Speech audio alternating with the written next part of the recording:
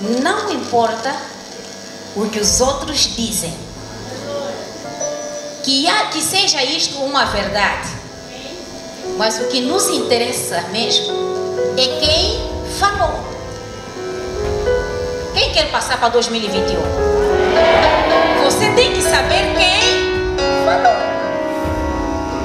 Se você olhar quem falou, isto vai te remeter ao pensamento de que você está com o tempo. Ninguém está me entendendo. Eu disse isso vai te remeter a pensar que você está com o quê? Deus é o tempo. E Ele não está em cima. Ele está embaixo. Mas não está no chão simples. Ele está dentro de você. Então se Ele é o tempo, se Ele é o tempo, e o tempo está dentro de mim, eu, eu transito com o tempo para 2021. Então não depende quem vai falar. Se Deus é o tempo, Ele já falou. É Ele que coloca todos os anos em ordem. Porque depois de Jesus Cristo, os anos estão por ordem crescente e não decrescente. Por isso, em 2020 vai ter que ficar, porque nós vamos para 2021. Falou. Eu estou com o dono do tempo. Eu posso ouvir amém. Eu posso ouvir amém. Eu não quero saber o que, é que passou no 2020. Tristeza tinha que acontecer, porque até com a tristeza a gente aprende. Muito sofrimento, muitos abatimentos. Ah, pastor, eu tive muitas perdas. Nós também com as perdas aprendemos. Então, esta noite eu quero te fazer lembrar uma coisa muito importante. Grava isso. Êxodo capítulo 10, no verso 26. Está aí uma coisa muito forte. E é que nós vamos trabalhar com ela agora. Êxodo 10, 26. Só para te fazer lembrar. Faraó apareceu a Moisés e disse assim: Está bem, vão e adorar o vosso Deus. Mas somente fique aqui as vacas e as ovelhas. Até as crianças podem levar. Quem está me entendendo? Quem está me entendendo? Agora, Moisés respondeu: Disse, olha, até mesmo você. Vamos dizer a Satanás, até Satanás. Tudo que ele nos tirou vai ter que nos dar, porque nós vamos adorar nosso Deus. Estão a entender isso? Agora Moisés disse para ele, Faraó, não, você se esqueceu. Há coisas que nos pertencem, ainda que você queira, não podem ficar. E ele diz assim: nenhuma unha. Quem está a olhar aqui? Olhem ali, olhem ali, olhem ali. Está aí a unha? Olha bem, 26.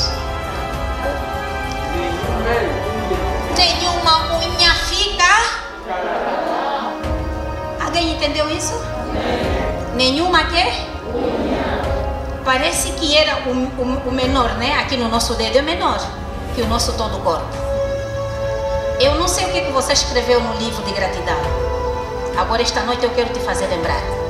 Se calhar você não escreveu tudo. Diz a Satanás que nenhuma unha ficará em 2020. Olha mesmo bem dentro de você o que, é que ficou em 2020 que você não se lembrou. Esta noite temos que recuperar porque tem que passar conosco. Nenhuma unha. O que, que isso quer dizer? Tudo que é nosso pertence a Deus. A unha pertence, o cabelo pertence, os olhos pertencem, os sapatos pertencem, a nossa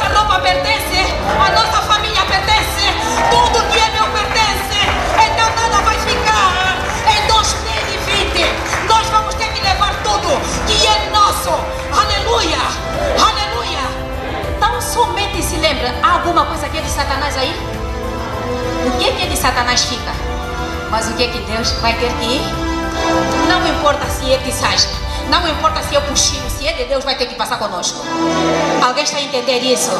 Agora olha para a tua família, fecha agora já os teus olhos. Eu quero que feche, feche os teus olhos. Começa a visualizar o teu livro que você escreveu de gratidão. Eu sei que você escreveu coisas boas. Eu sei que você escreveu as pessoas importantes que te marcaram. Se você esqueceu, precisa escrever.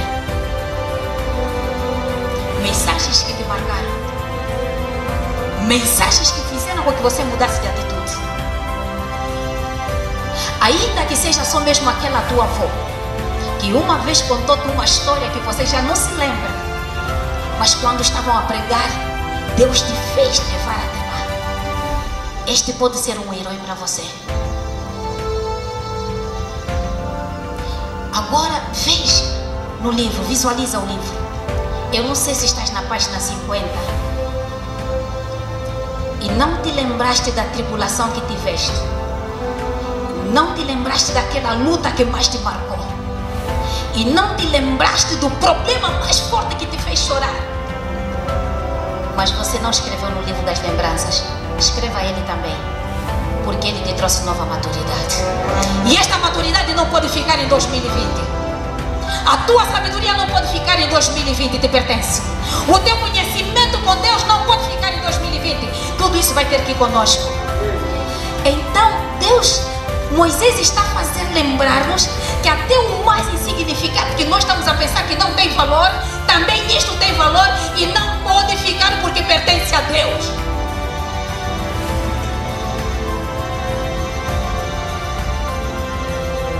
agora.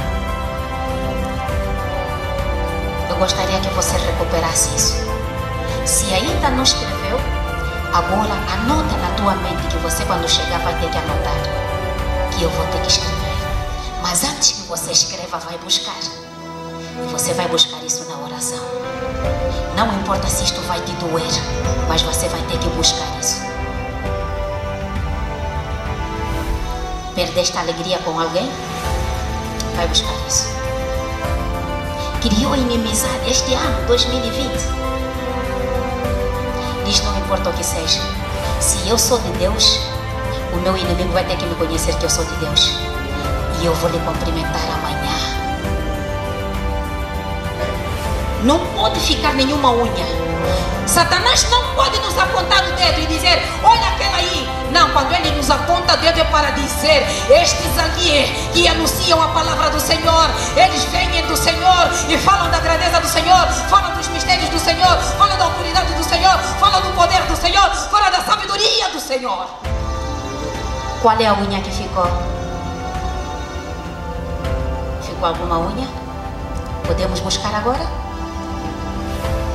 Ah, mamãe Nani, eu recuperei tudo, sim. Graças a Deus. Mamãe Nani, eu só não consegui recuperar a minha família. Vai ser o motivo da tua oração a partir de agora. Mamãe Nani, o que mais me entristece, sabe o que é? Não.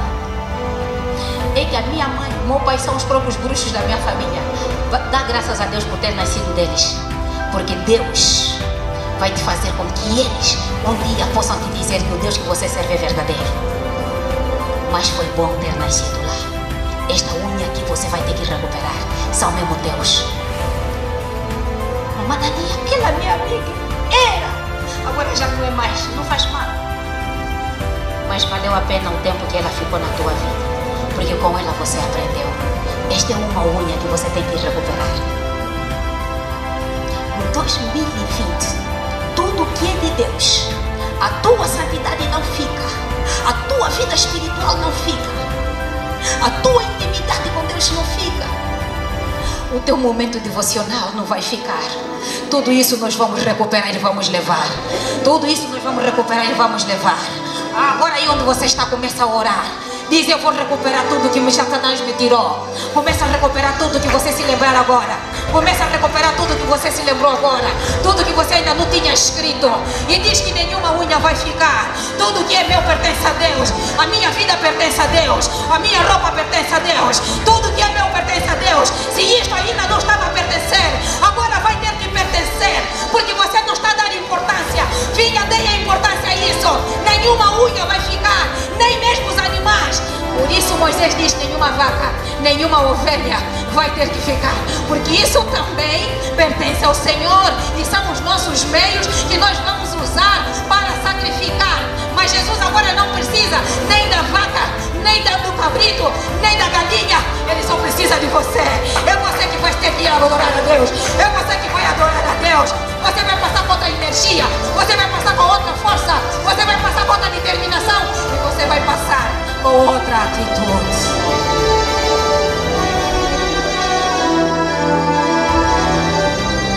Só faltou atitude. Recupera a tua atitude também. Nas coisas de Deus só te falta atitude. Na tua vida espiritual só te falta atitude. Na tua vida espiritual só te falta atitude. Na tua vida espiritual só te falta atitude. Eu estou a dizer que na tua vida espiritual está te faltar atitude. Filho, toma atitude. É por isso que estamos aqui. É por isso que temos um livro de lembranças. Deus quer se lembrar de você por causa da tua atitude. Escreva isso. Escreva isso. Diz que Deus, obrigado pela atitude. Por que atitude, Mamanani? Deus não é ovelha. Jesus nunca foi ovelha. Foi levado como? Não é. Como? Jesus só se identifica com dois animais: leão e águia. Chega.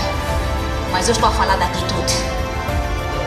A atitude do leão faz com que ele come um elefante. É esta atitude que você vai passar para 2021. Não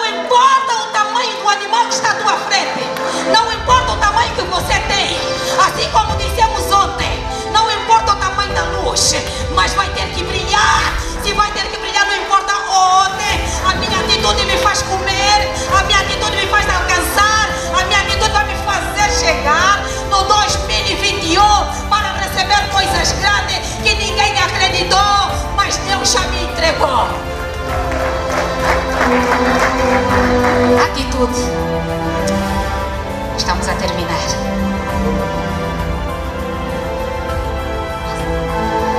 Estamos a terminar. A tua atitude. A tua atitude. Fica de pé a tua atitude. A tua atitude.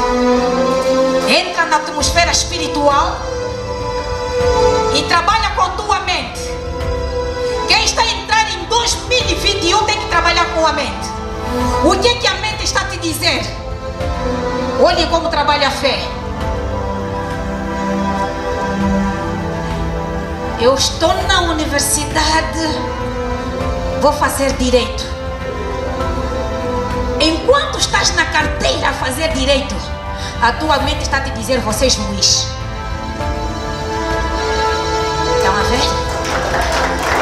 Para quem é arquiteto, ele está fazer a planta de alguém, está dizer: a minha casa já está de pé. Esta é a atitude, a atitude dos filhos de Deus. A fé é isso. A fé te faz desenhar o que você não tem na mão, mas o desenho já existe. Atitude. É isto que nós queremos passar para 2021. O ano passado eu não estudei, mas este ano na minha oração para me ver sentado na carteira. Isto é atitude. Como? Não sei. Mas eu vou sentar. Já estou sentado lá, já estou a me ver lá. Isto é atitude.